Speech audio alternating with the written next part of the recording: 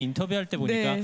그렇게 수줍음을 많이 타시더래요. 아니 낯가림이 실제로는 심하시다면서요? 이렇게 말도 부끄러워서 못 하신다는데 어. 어. 떻게 이렇게 공연을 잘하세요? 그게 저도 미스터리예요. 사실은 제가 네. 분장을 안 하면 굉장히 내성적이고 소극적이고 이렇게 말도 없어요. 이렇게 누가 와서 인사만 해도 부끄러워서 고개를 막 돌리고 이러거든요. 근데 이상하게 옷만 입으면 사람들이 그래 일단 눈빛부터 틀려진대요. 말투도 틀려지고 어, 벌써 이렇게 다리도 이렇게 쩍 벌려 앉았는데 이게 버릇이 돼가지고 그게 참 미스터리예요. 제가 보기에는요 네. 이 머리에 꽃 때문에 그런 것 같아요. 그분이 내려오신 것 같아요. 그분이. 그러니까 저를 아시는 이제 같은 동료분 아주머님들이 저만 보면 아휴 우리 재수 씨는 어떻게 각설이를 하는지 모르겠다고 숫기가 없어서 그리고 또 공과 사는 구별해야 되니까 저희가 부부다 보니까 눈만 마주쳐도 싸우잖아요.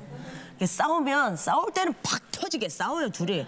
그러다가 이제 한 5분 뒤에 무대를 올라가요. 올라가면 또 태도가 싹 바뀌어. 언제 그랬다는 듯이 막 공연하고 그럴 때 보면 아휴 참 팔짱가 보다. 이게 팔짱가 그 생각이 들 때가 참 많아요. 칠도 씨도 같은 생각이세요? 네, 그뭐 똑같습니다. 사실 이분들이 분장만 지우면 얼마나 잘생기고 예쁘신지 그러니까요. 몰라요. 특히 젊은 시절 결혼 사진 보면 이런 선남 선녀가 따로 있었나 싶어요. 저희가 네. 특별히 한번 공개해 보도록 하겠습니다. 네, 칠도와 삼순이의 결혼 사진입니다.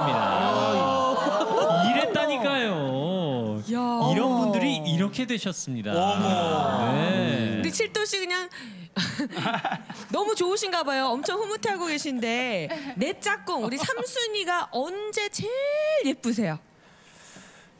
언제 제일 지웠을 때? 이쁜 때 는 예. 예, 집에 없을 때가 제일 이뻐요.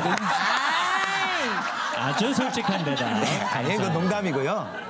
진짜 아, 솔직히 이 분장을 해서 그렇지 이, 백- 이 분장을 벗으면 벗으면 진짜 이쁘고 또이 제가 요번에 그 공, 공연할 때 좀 과로를 해서 쓰러져서 아. 수술을 받은 적이 있었어요. 아, 그래요? 수술을 받았는데 아 진짜 병실에서 누워 있다가 새벽에 잠깐 눈을 떴는데 옆에서 딱 엎드려서 간호를 해주면서 어, 그 병실에 그, 못 자고. 예, 침대 그작 그, 간이 이렇게 침대. 간이 침대에서 이렇게 엎드려서 자는 모습을 보고 야 진짜 나의 환상의 짝꿍은 여기 있구나 하늘의 천사구나 이런 마음을 가졌었어요.